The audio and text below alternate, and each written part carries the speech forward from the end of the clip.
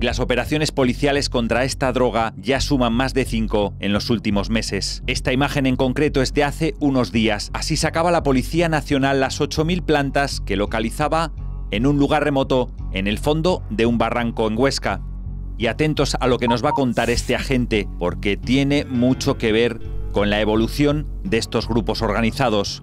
Yo destacaría la implicación de personas autóctonas dentro de este negocio, que yo creo que ese es eso es un cáncer. Ahora ya son los de casa los que empiezan a trabajar con los de fuera y eso les empieza a dar una cierta ventaja.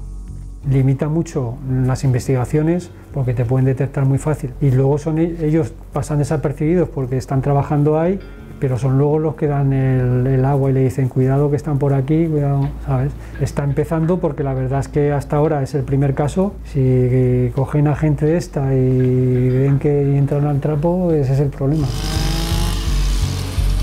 Estas plantas que vemos estaban muy cerca de sus domicilios particulares. Cualquier persona que acceda ahí, ellos saben quién es, si es foránea, si no, y, y de hecho donde estaban estas plantaciones están apenas entraba nadie que no fuese de la, familia de la persona que trabajaba con estos ciudadanos albaneses. Había una persona que ha puesto en contacto al, núcleo albanés con el núcleo de, los autóctonos, que es la persona que dirigía la organización, que en este caso era un ciudadano de aquí de Huesca. Fueron un total de 8.200 plantas.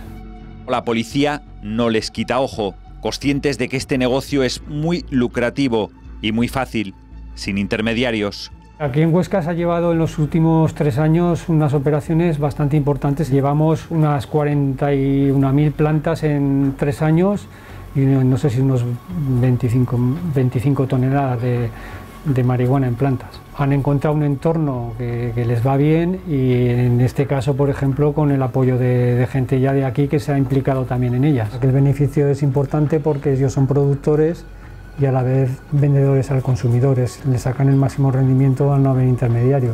La cocaína un gramo te cuesta 60 euros, un gramo de speed pues suele costar unos 15 euros y la marihuana también pues es una droga mucho más económica, más accesible para, para las personas jóvenes que tienen menor poder adquisitivo.